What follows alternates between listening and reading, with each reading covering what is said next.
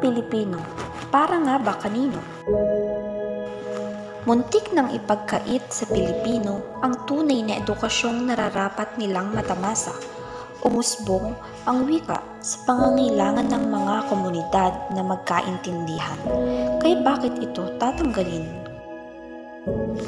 Mahalaga ang wikang Filipino sa kasalukuyan dahil nagpapatunay ito na mayroon tayong sariling wikang maipagmamalaki.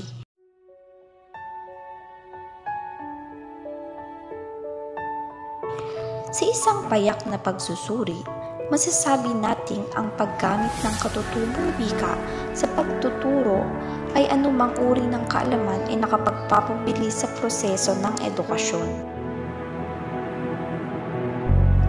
Kailangan nating ipaalala ang kahalagahan ng wika sapagkat ito ay sariling atin.